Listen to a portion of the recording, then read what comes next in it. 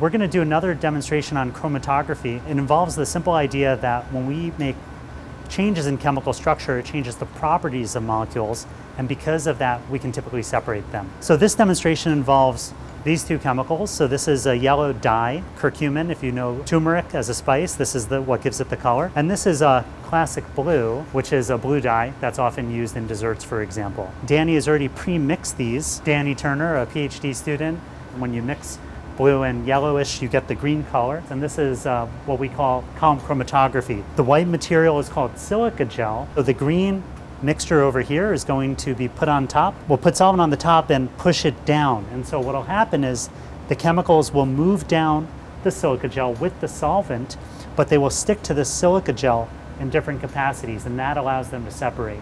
So if this works, what should happen is that at the end of it, one of the chemicals, the yellow color, will come off and we'll have that in a flask and we'll have the blue color in a separate flask. And that's chromatography. Danny, any uh, corrections for Gail? No, that sounded great. Looking forward to it.